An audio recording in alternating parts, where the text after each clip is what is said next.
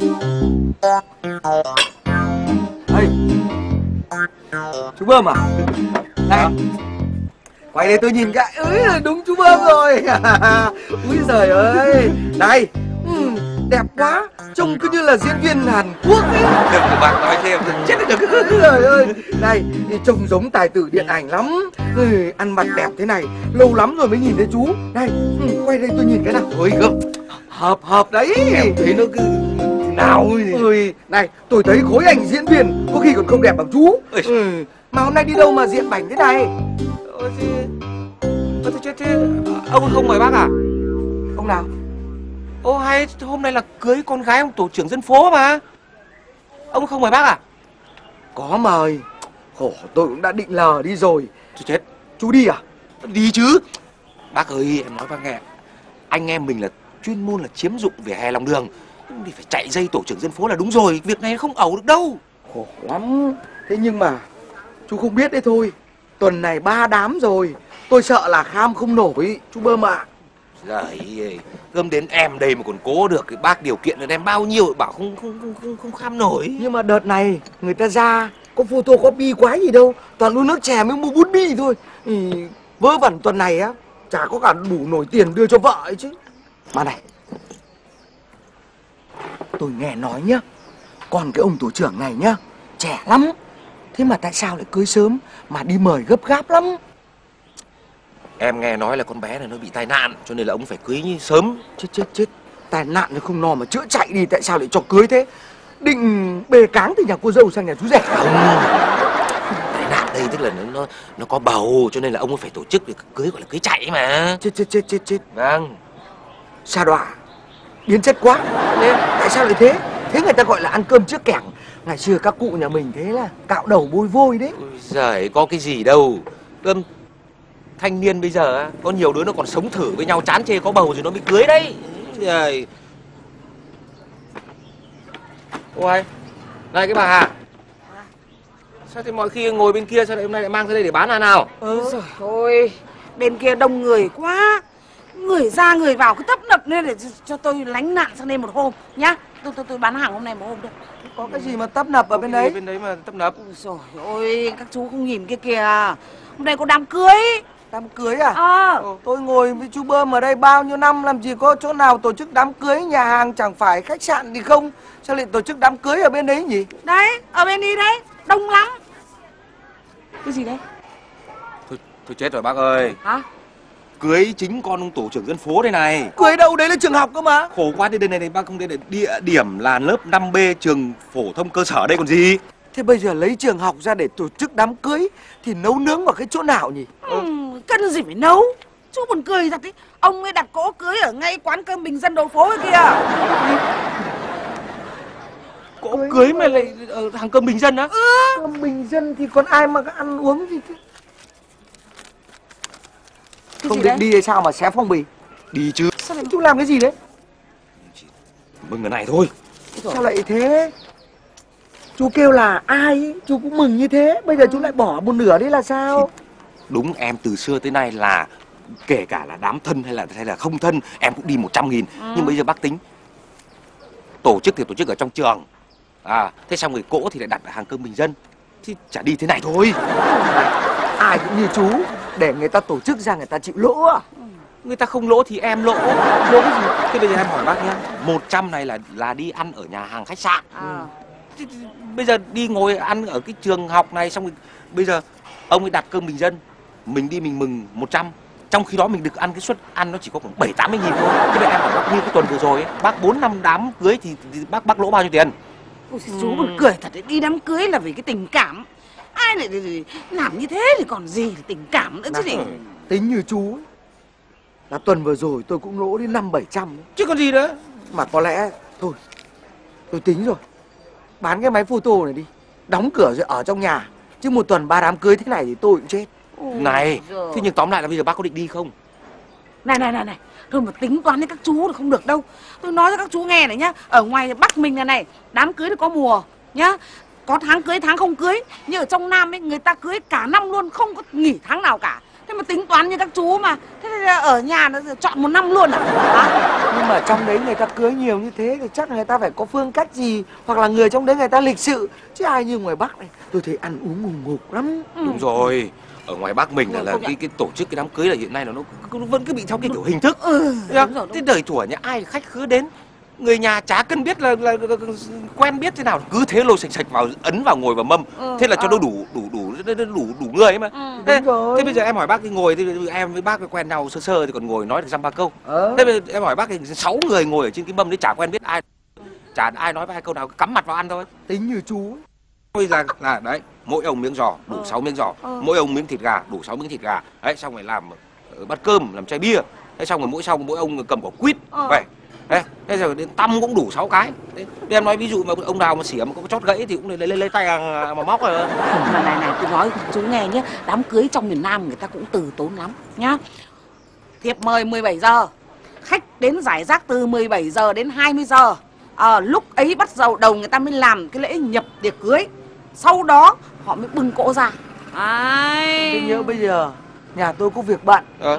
Thế tôi phải về trước Tôi không thể đợi từ 5 giờ đến 8 giờ mới ăn được Thì tôi phải làm thế nào? Thế đói à? Chú buồn cười thật.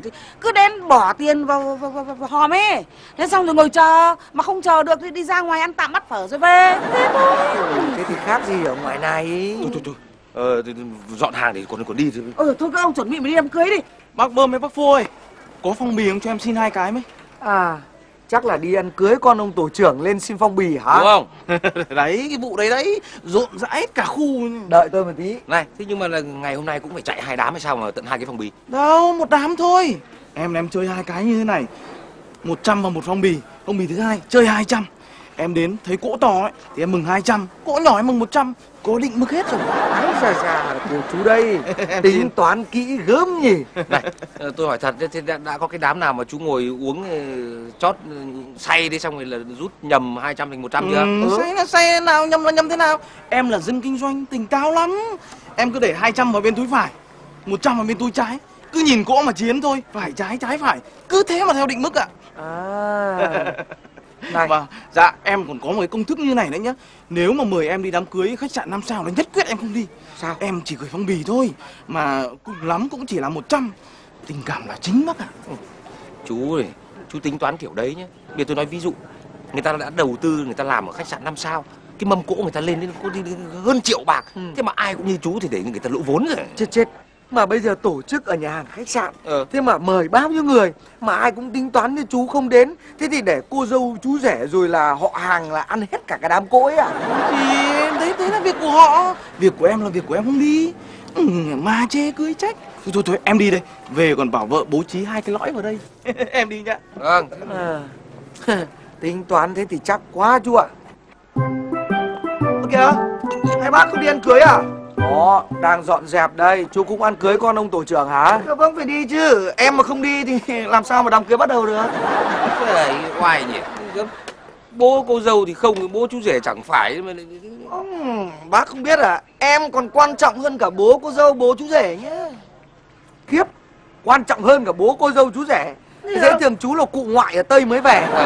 Này, chủ hôn dẫn chương trình. Ai? Chủ hôn Chủ hôn. chú làm chủ hôn nữa Vâng. đấy trời chú thì chủ lô chủ đề chủ hôn cái gì Ờ. Khẽ thì bác đấy là đấy là nghề tay phải, còn nghề tay trái của em là nghề dẫn chương trình. Chủ hôn, Ờ. chủ hôn. dẫn chương trình Vâng. tôi hỏi chú chú học hành ngày nào mà chú dẫn chương trình Này Nó phải nói hay mới làm được đấy Rồi bác ơi cần gì phải học Bác không thấy à Ca sĩ diễn viên người mẫu có học hành gì đâu Làm MC tuốt đấy thôi. Chỉ lẻo mép một tí là làm được không vấn đề gì. Nhưng họ có người đào tạo ở trên truyền hình. Đằng này chú suốt ngày ngồi đầu phố Giờ cũng lên nói ABC ABC làm sao mà nói buồn- được. Bác buồn cười nhỉ? Thì một ngày bao nhiêu cái đám cưới? Mà làm sao đủ MC truyền hình mà đi làm đám cưới được? Phải có bọn em thì nó mới đủ cho các đám cưới khác chứ. Tôi nghe nói làm MC đám cưới Này cũng phải mất ối tiền mới thuê được đấy. Thế này hỏi nó hơi tế nhị một tí là mỗi một cái đám cưới thì chú lấy của người ta bao tiền? Ừ, Ờ, cái đấy nó là cái bí mật nghề nghiệp. Cứ nói đi nhỡ con cái bọn tôi còn thuê. À, Thôi thì ờ, thôi để em nói thế này để các bác hiểu. Nói đến- chung là nó là tiền triệu. Rồi Thì em cũng chỉ làm thêm thôi mà. Thì một tuần em làm có hai ba ngày cuối tuần. Ừ. Mỗi ngày em làm khoảng 4 năm đám thôi. Thì cũng là đủ tiêu, đủ sống mà. Này thì, thế thì mà cứ tiền triệu mới làm. Dạ vâng thì tiền triệu mà phải mời nó phải chân thành cơ. Chứ còn mời mà không chân thành là bọn em không làm. Thế thì cứ, cứ, cứ mỗi một năm mà cứ vào cái mùa cưới thì, thì chú ăn đủ Ờ thì cũng thì cũng để bù đủ bù tiền cho cái hôm nào mà khách được nhiều mình thua. này Hả? tôi hỏi thật nhé thế chú vừa nói là chú chạy show dẫn chương trình nhiều như thế thì có khi nào chú nhầm giữa cái đám nọ với đám kia không? Ừ. Kìa bác buồn cười nhiều show thì nhầm là cái chuyện bình thường chứ. Hả? chết chết đám Thế cưới chú- mà nhầm thế thì, thì, À, à, thì toi chứ còn Không nhầm thế nào được mà nhầm. Cô dâu chú rể tên là phải rõ ràng. Đấy, bố mẹ hai bên gia đình là phải nhớ rõ ràng. Nhầm thì làm sao lấy được tiền của người ta.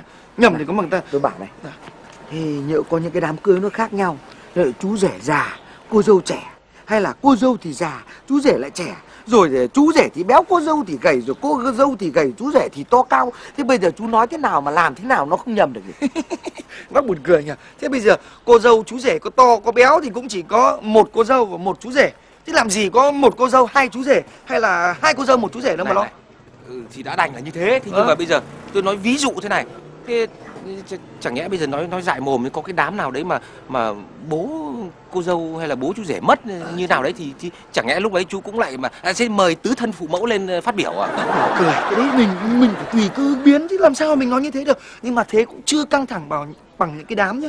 Mà bố mẹ hai bên gia đình bỏ nhau ly dị nhau từ lâu rồi. Mấy chục năm không thèm nhìn mặt nhau. Nhưng mà vì con vì cái chấp nhận nhìn mặt nhau trong vòng có năm 10 phút trên sân khấu. Nhưng mà nhiều khi căng quá cũng không được không đàm phán được với nhau. Có những gia đình á, còn phải thuê người trở vờ làm bố và làm mẹ đứng trên sân khấu cho đủ người đấy. Gì cái chuyện đi thuê là có mà em đi làm nhiều em biết đấy các bác làm sao biết bằng em? Thế được rồi. Thế bây giờ tôi nói ví dụ mà ừ thì cũng là đầy đủ bố mẹ ở trên sân khấu như thế thì Ờ.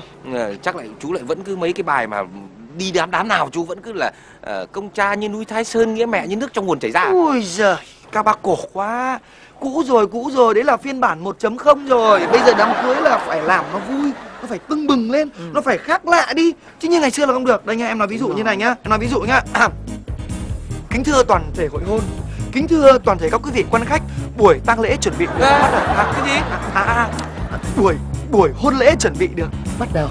Yêu cầu các bà con là à, ngồi đúng vị trí của mình Và không chuyển mâm để chúng tôi là dễ sắp mâm và đỡ bị thừa người các mâm.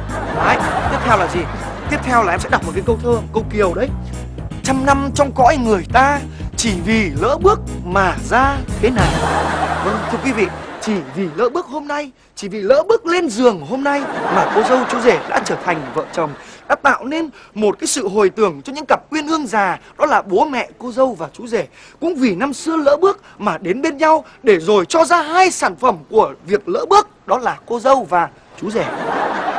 Rồi vỗ tay Nhìn gì đã? Mặt chú làm sao đấy? Mà đây làm sao có cái sẹo to quá.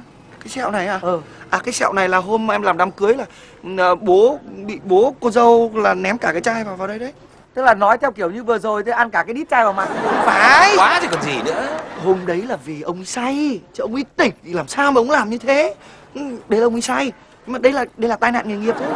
Không phải, không phải là cái chuyện thường xuyên. thế, À.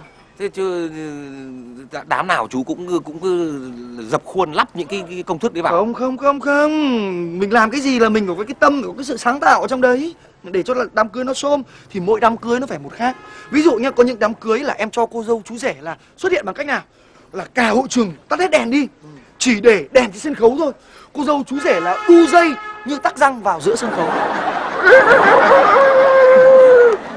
Mà. thế là vượn chứ người gì? Ờ thế mà đu dây vào thế coi như là nến với đèn với cỗ với bàn là lê vi theo hết đúng không? Ôi, trời chưa hết chưa hết. đá vào mặt khách. Ui, những cái đám mà những cái đám ôi, có những hôm mà cô dâu văng cả giày cao gót ở mặt mặt khách cơ mà. nhưng mà thế nó mới vui. Nhưng còn những còn những hôm mà em em em em lại còn thiết kế như thế này. Có là gian hai bên thế này là nam thanh nữ tú cầm pháo pháo pháo pháo pháo pháo giấy đấy bắn pháp pháp cái này. Là- kim đấy. trang kim đấy. Là cô dâu chú rể cưỡi ngựa cái ngựa này Đấy, thế thế có, có, có, cái đám nào mà ngựa nó đang đi nó lại bậy ra đấy? Xỉ bác em một cười đấy. Cũng có nhưng mà mình mình mình cái gì đấy là là là là là cổ xưa và nó lại trang trọng quý tộc.